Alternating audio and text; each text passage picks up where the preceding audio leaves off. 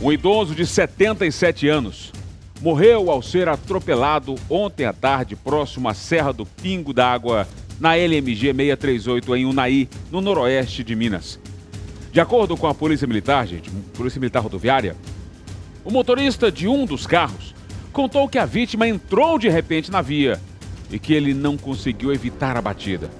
O idoso foi atingido e, segundo o condutor, outro carro que vinha logo atrás fez aí uma ultrapassagem e atropelou a vítima, o arrastando aí, gente, por alguns metros. Ele foi atingido duas vezes. Que tristeza, viu? Olha só, a vítima morava próximo do local. Ainda segundo a polícia, o motorista apresentava sintomas de ter ingerido bebida alcoólica. O perigo aí, a gente fala isso aqui sempre. Foi feito então o teste do etilômetro, né, o bafômetro, e foi constatado 0,67 mililitros de álcool por litro de ar expelido. O homem já estava mamado, viu? O veículo dele estava em situação regular e foi liberado. O homem foi detido e levado aí para a delegacia. Agora vem cá, gente.